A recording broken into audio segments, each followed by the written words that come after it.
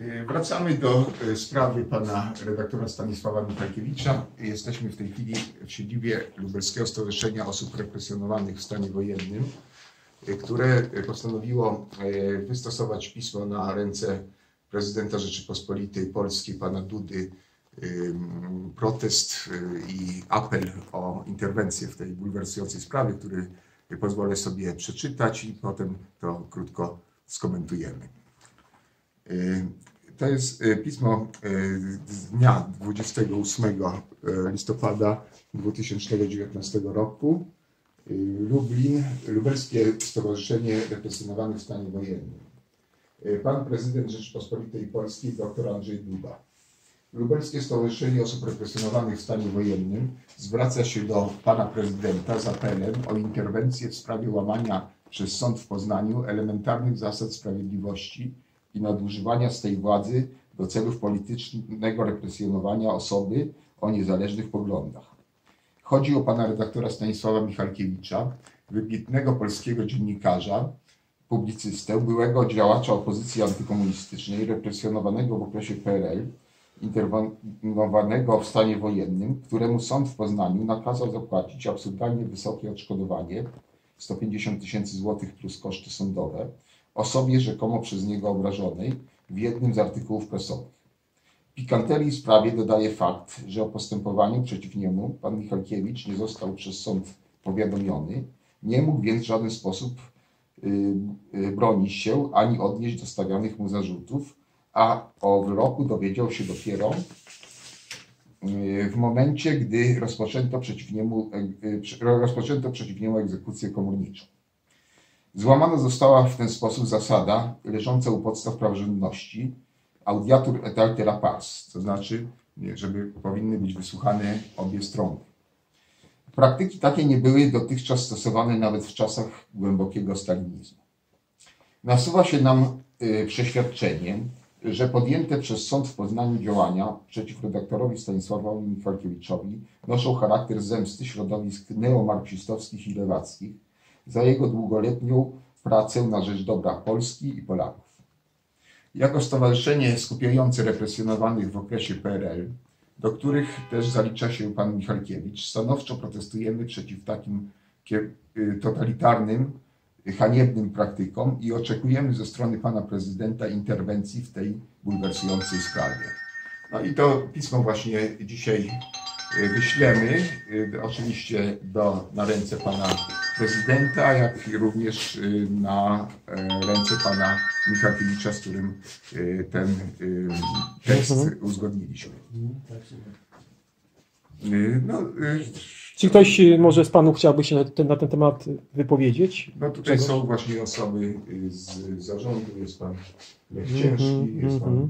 Henryk Świątkowski. Czyli panowie, y, Andrzej, Andrzej jest przecież też. panowie y, popierają y, Grześka. y, Znaczy, to nie jest rzecz, to jest, a to jest nasze stanowisko jako stowarzyszenia także No tak, jest- ale to jako- jako członkowie popierają. Zreda, zredagowałem to pismo w uzgodnieniu z panią przewodniczącą, no i właśnie je odczytałem i dzisiaj po prostu przepiszemy je na czysto i opieczętujemy i, i, i pójdzie. No ja jeszcze dzisiaj pozwolę sobie wieczorem zadzwonić do pana Stanisława, no i Poinformować go o tym. o tym, co, co już wcześniej jeszcze zapowiadałem. No tutaj trwa też akcja zbierania y, podpisów pod Mhm. y, inicjatywą ustawodawczą STOP 447. Mhm. No i właśnie tutaj mm, podpis. Widzę, że zebrałeś sporo podpisów, a jeszcze w pracy chyba, znaczy w pracy y, zebrało się jeszcze gdzie indziej. Tak, Mówiłeś mi za 30-40 chyba, tak? Tak, tak. No, ale Także ludzie chętnie się wpisują. Ludzie się bardzo chętnie wpisują. To świetnie. Będziemy zresztą zbierali na ulicy, tak jak już żeśmy to robili. Mhm. Teraz pogoda Bogu dzięki się poprawiła i będzie można wyjść ze stolikiem, z banerem, z nagłośnieniem i będziemy to y, robili. Ale o terminie to Państwa y, poinformuję w, w, no, w, innym, w innym momencie.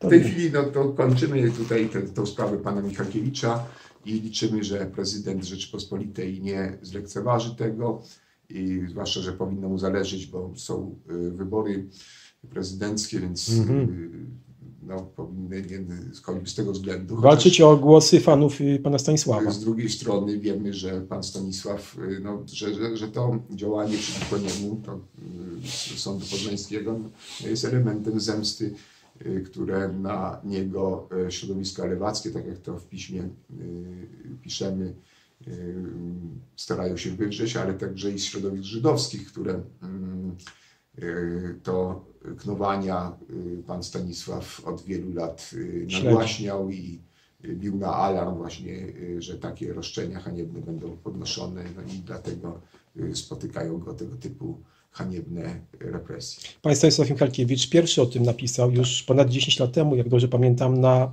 łamach, czy mówił o tym na łamach Radia Maryja i też pamiętam pisał, znam tytuł tego artykułu, bracia Judejczykowie zachodzą nas od tyłu. Tyłu, zna- tak. No tam wtedy y, chyba. próbowano stawiać y, zarzuty, no, ale To była, wtedy był straszny klangor, tutaj wyklinano Radia, y, Radio Maryja od, od ostatnich, żądano usunięcia. Nie, no to wtedy Michalkiewicza. wszczęto y, też postępowanie. Tak, tak, tak, przypomnijmy to. Wtedy nie, nie, nie podjęła tego. No a w międzyczasie był rozpracowywany operacyjnie w ramach e, akcji Menora przez Agencję Bezpieczeństwa Wewnętrznego. Potem puszczono e, w obieg Mhm. taką fałszywkę, że rzekomo współpracował z SB. E, No to Mhm. okazało się, że to był dokument e, sfałszowany, e, podrobiono pieczątkę lubelskiego IPN-u. E, Pan Stanisław zawiadomił wtedy organa ścigania, ale Które one, to zlekceważyły. e, To zlekceważyły. No, oczywiście on sam wykrył skąd e, było to źródło, z Holandii było Mhm. e, wysyłane, tam taki e, e, niejaki sa- e, Sapere Audo Sapere, sape audere. Rozsyłał. Potem ukradziono mu samochód, no a teraz ten e, wyrok. No, ja, No i kończmy, bo tutaj już no panowie chyba, widzę. chyba w tym momencie się. i dziękujemy za uwagę. Dzięki Grzegorz na razie.